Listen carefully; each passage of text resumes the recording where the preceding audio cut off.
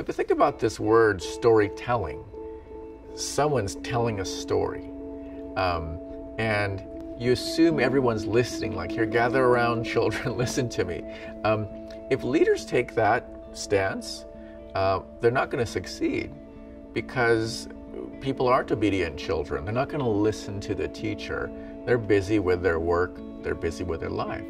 And so, what I've seen is that a leader doesn't start with storytelling, they start with story listening. That leader has to have a command of the past of the organization because leaders bridge the past and the future and the present. They refer to the past to enable people to feel the present and to see the future as not some kind of radical transformation because we don't like change. But a great story from a leader can bring people along that path. This is how it was, and this is how it is. Little different. There were scary moments, but we got here. And this is the future. We're going to go forward. We did it before. We can do it again. When I think about the problem of working with organizations, audiences, teams, is I see little arrows on their heads, and they're all going in different directions because they have their own stuff to take care of. A leader is trying to move everyone's arrow and generally the same direction. And the way to do that is they talk about what North Pole is, North Star is. What is a story that gets everyone's arrow to point in the same direction? You know, when you hear the word design, you'll hear the word empathy used, like within a few words of its radius. Um, it's about how it makes you feel, not how it makes me, the designer, feel. How do you feel matters more.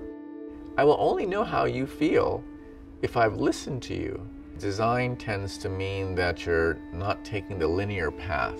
We all love the linear path, it makes sense. It's the lowest path of risk.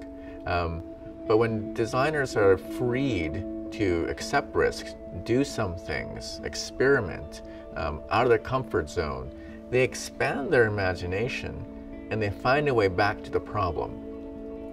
It wasn't until I began to lead that did I understand how leading is a kind of design problem. I look at leading as a kind of making, as a creative problem. Uh, how to be a creative leader, I think, is the most interesting problem today for any person who's in the creative fields. What's the future of storytelling? I think it has a lot more to do with listening than telling. Um, I think leaders discover so often how they can get stuck in their own story and tell a great story, there's no one listening. They may be in the room, but no one can hear them. The only way they're going to hear them is for the leader to listen to them first. Story listening has to come before leaders' storytelling.